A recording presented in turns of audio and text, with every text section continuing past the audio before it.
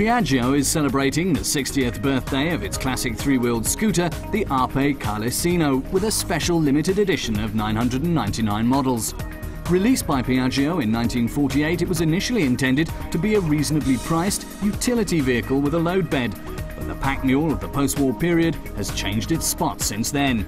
A manually operated convertible with an 8 horsepower diesel could be yours for just 8,500 euros.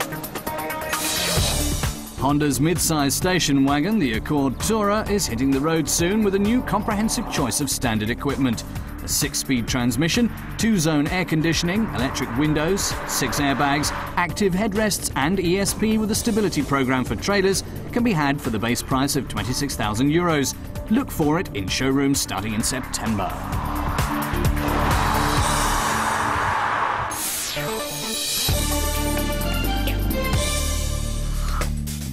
This is the new Seat Ibiza, and Nico Petz and Bettina Zombikite are ready to test it.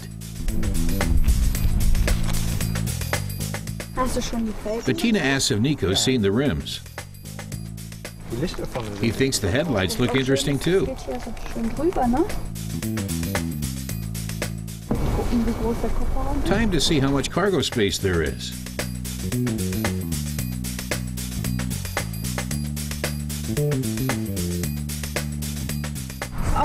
She says it's quite sporty and wants to go for a ride. Nico asks if he can drive.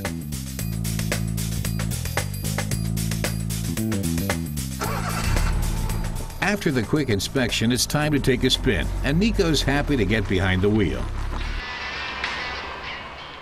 This latest Seat has been completely revamped. The longer wheelbase and wider tires give the vehicle a more dynamic appearance. At the same time, the new Seat Ibiza offers more comfort and safety. Electronic stability control is standard equipment.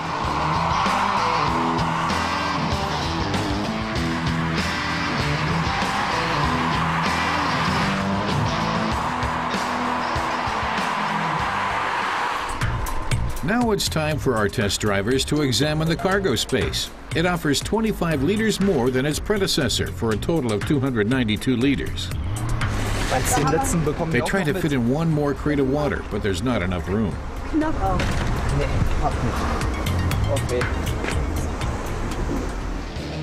The exterior of the new Seat Ibiza looks modern and dynamic. The steering feels tauter, and the suspension tuning has been improved, although it could take a little getting used to for those who desire more comfort. Nico says he likes the suspension, but he's not impressed with the comfort. But for a compact car, it's enough. It features the new Arrow design concept. The low grille gives the front end its Aero shape. The revamp reinforces the fresh, dynamic look. The adaptive cornering lights not only bolster safety, but also underscore the sporty look. The sleek lines stretch from the chrome grille all the way to the rear. The Seat's interior impresses with high quality materials, seldom found in compacts.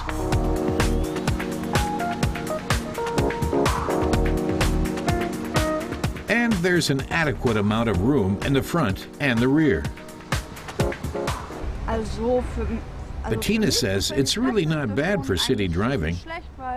The car's neither large nor small. She thinks it's fine for getting around in the city. As a city car, it's fine, he says, and could fit into just about every parking spot, and its fuel consumption is reasonable. The new Seat Ibiza burns less fuel than its predecessor. Thanks to more efficient engines and a new transmission ratio, it not only conserves fuel, but emits less CO2 as well.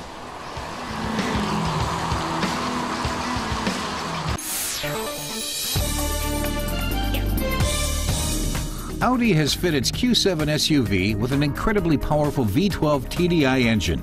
The crossover 6-liter engine generates 500 horsepower and maximum torque of 1,000 newton meters.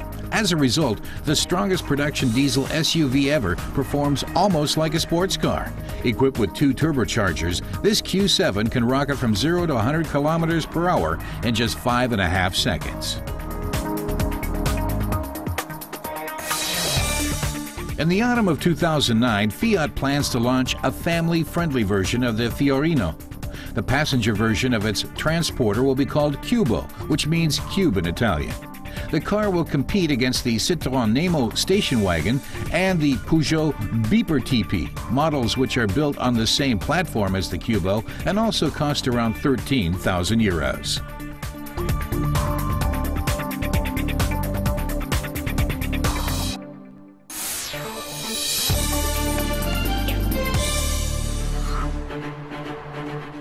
BMW's top model is 5.2 meters long. The new 750 Li luxury sedan has a lengthy wheelbase. The 7 Series comes equipped with an adaptive damper control at no extra charge, and the stretched version also includes rear pneumatic suspension. This much comfort practically begs for a chauffeur. But you'd be missing out on some serious pleasure by not getting behind the wheel of BMW's top dog yourself.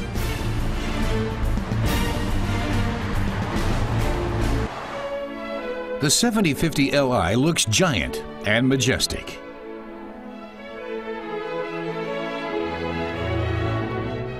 The front end is dominated by the tapered headlights and BMW's trademark kidney-shaped grille.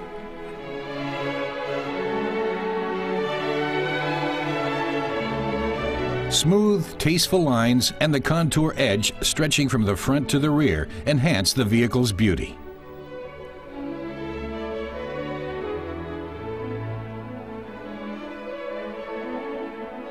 With the press of a button, drivers can change the suspension to four different settings Comfort, Normal, Sport, and Sport Plus.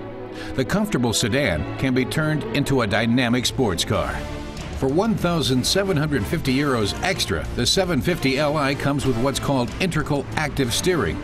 At low speeds, the rear wheels can turn in the opposite direction of the front wheels, giving a tighter turning radius. The system also provides more stability during lane changes at high speeds.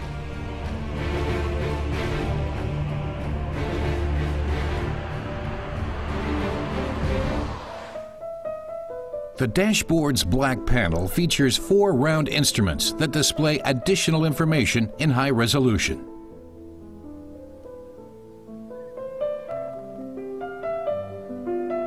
The center console leans slightly toward the driver. High quality materials and fine leather emphasize the elegant side of the 750 Li.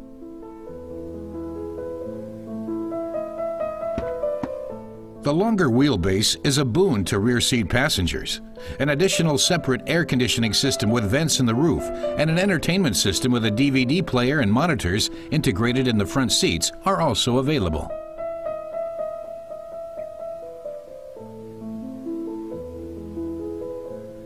Climate control seats with a massage function make even long journeys a pleasure.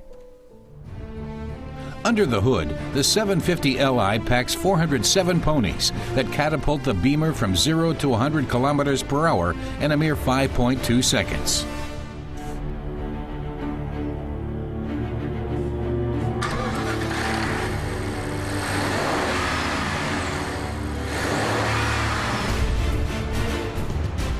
Newly developed motors simultaneously boost performance and reduce fuel consumption. Besides a V8 bi-turbo engine, a 12-cylinder model is also available.